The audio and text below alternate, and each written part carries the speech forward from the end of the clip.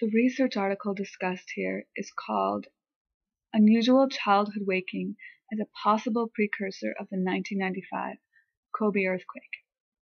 It was written by Ikeya and Whitehead in 2013, published in the journal Animals. The Kobe earthquake of 1995 was a 7.3 magnitude earthquake that occurred just outside Kobe, Japan.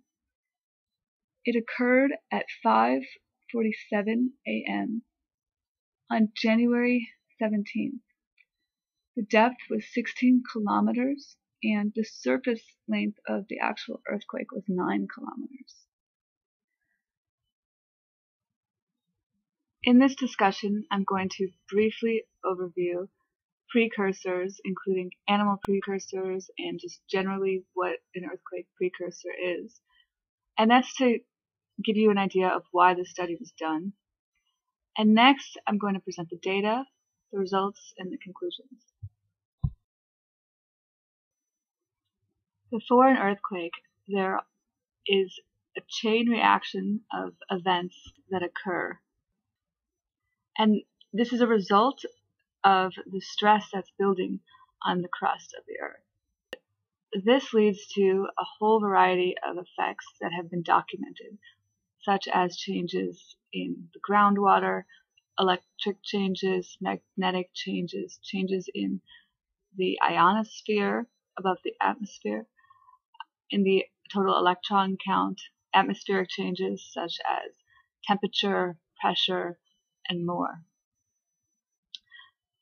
And these create some unusual effects, such as earthquake clouds, unusual looking clouds that might appear, or earthquake lights.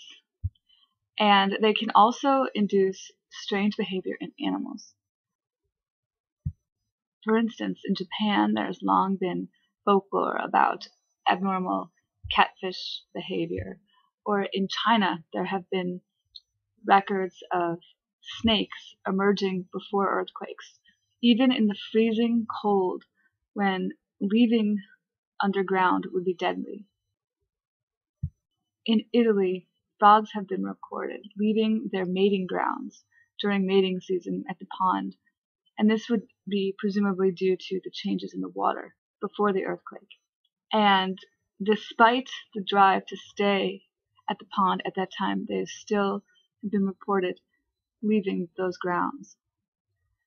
In New Zealand, there were very many verbal reports of all sorts of unusual animal effects. And really, all over the world, there have been uh, reports of unusual animal behavior before earthquakes. Their research question was do humans also behave in an earthquake sensitive way? And the way that they chose to measure this was through early waking before an earthquake.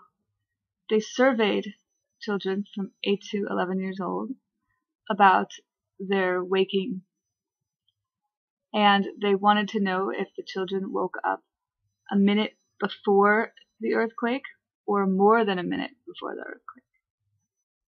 And the distinction here is that if you woke up more than a minute before the earthquake, it ensures that you didn't wake up due to the earthquake itself. So the goal of this study is to assess whether children are earthquake sensitive, measured by whether or not they wake up early that night of the earthquake. The earthquake was at 5 late in the morning. And the precursors they believe are most likely to wake the children would be ultra low frequency or very low frequencies, which are known to be emitted soon before earthquakes, and they also are known to cause itchy and anxious behavior. So it wouldn't be surprising if a young child woke up early before an earthquake due to anxiety or whatnot. But keep in mind there are a whole variety of other precursors that could wake children. The children were surveyed on this regard, and that is what data will reflect.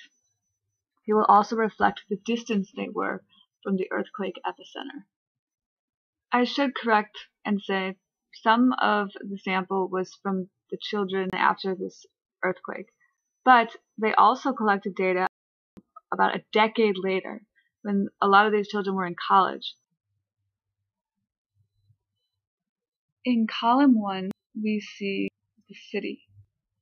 Notice that Kobe is not exactly at the epicenter here because in column two we see distance from the epicenter.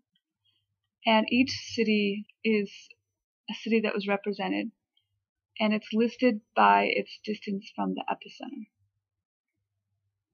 In column two, we see the ratio of children that woke up greater than one minute before the earthquake for each city.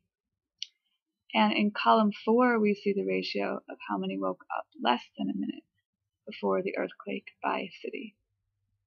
And notice a decline in the rate of waking up in both of these columns.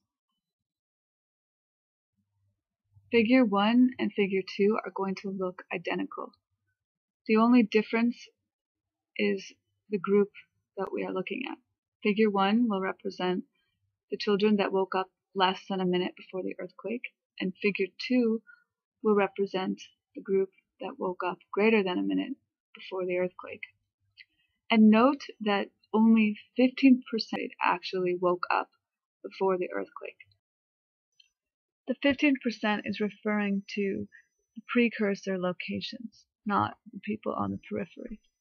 So when we draw conclusions about the sensitivity of children, note that there is only a small percentage of children that are earthquake sensitive, at least in terms of sensitivity measured by waking up before an earthquake. Also note that a certain number of children would have woken up regardless. That's why it's so important to compare across distance. In figure 1, we see the children that woke up less than a minute before the earthquake. On the x-axis, we see the kilometers from the epicenter, and on the y-axis, we see the fraction of children that woke up we can see here that the number of children that woke up less than a minute before the earthquake declines with distance away from the epicenter. It's an exponential decline. In figure 2, we see again the same pattern that we saw in figure 1. And this is for children that woke up greater than a minute before the earthquake. While the data shows an exponential decrease with distance, this actually occurs really slowly. Using a specific statistical mathematical method, researchers calculated that something very strong was affecting the children at least about 100 kilometers across. Something that wasn't generated from just a point or a line, which would indicate that there was a precursor effect.